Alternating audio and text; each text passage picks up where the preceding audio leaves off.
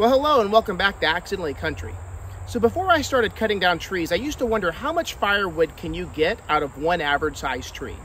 Well, this tree I decided to measure, and it is about 85 feet tall from base to top and about 20 inches wide. So we're gonna cut this tree apart and then split it with an axe, and we're gonna see how much wood can this type of tree give me for firewood. Follow along. This is Accidentally Country.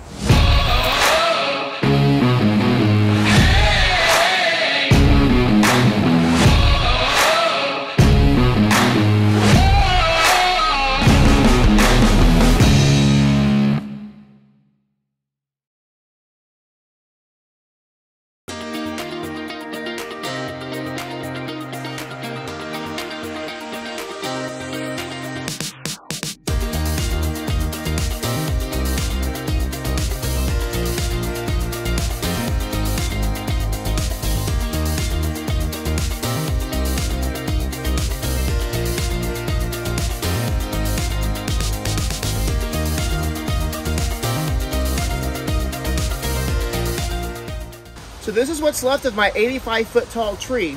Now obviously the top of the tree is gonna be just limbs, so if you were to stack this all together, it's probably 50 or 55 feet. And everyone's really impressed with what I've done. Well, except for Sadie.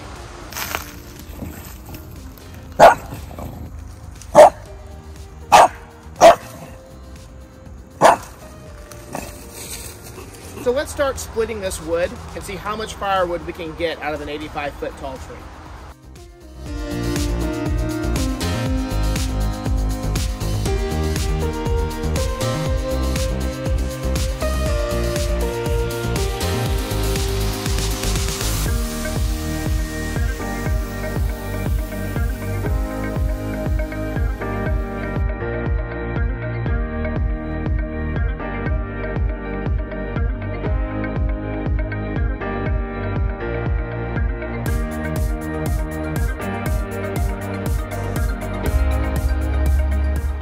Oh, hello. Let me come around. So this is approximately the, the, amount of wood you'll get from an 80 foot tree. So like I said, I used about 50 feet of that tree because that's where the bulk of it is. Uh, good for firewood. And man, is it a workout. If you ever want a fun workout, split some wood.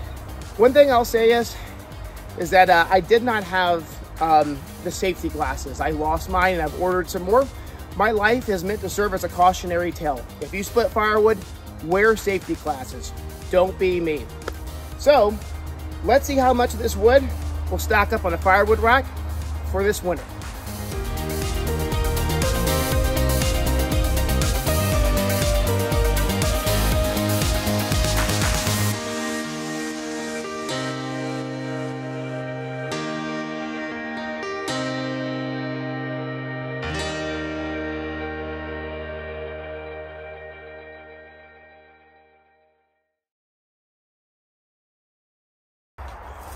That is a lot of wood. So a cord is eight feet wide, which this is, about four feet tall and four feet deep. The only thing difference is mine's much taller, but it's not nearly as deep.